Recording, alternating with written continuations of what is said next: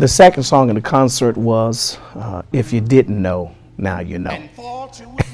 And, uh, that's another song that was birthed in the atmosphere of worship. You could see, you could just see the despair on the faces of the people. And um, um, I, I mounted the pulpit, preparing to preach, as I always do. I looked out at the audience, and I just said, if you didn't know, now you know. It's going to be all right. I said, now turn to your neighbor and say, if you didn't know, now you know it's going to be all right. Then I heard the melody, and we start singing that song, and then God gave me the verse. Have you ever been through a trial and thought you wouldn't make it? You were smiling on the outside, but crying down on the inside. Wondering when will the season end? When will the joy begin? How much more can I take? And when will the season break?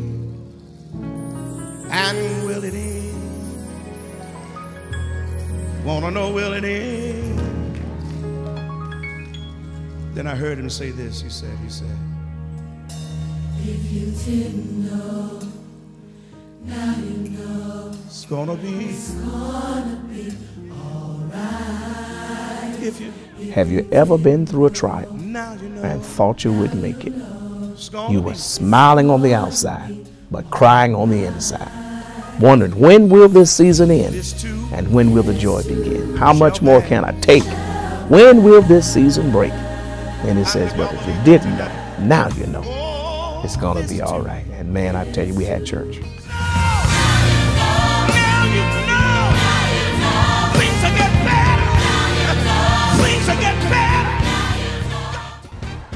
I believe one of the responsibilities of anybody that God gives an opportunity to do anything is to reach back and help somebody else. So many times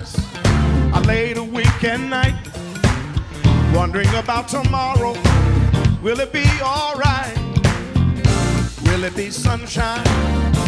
Will it be rain?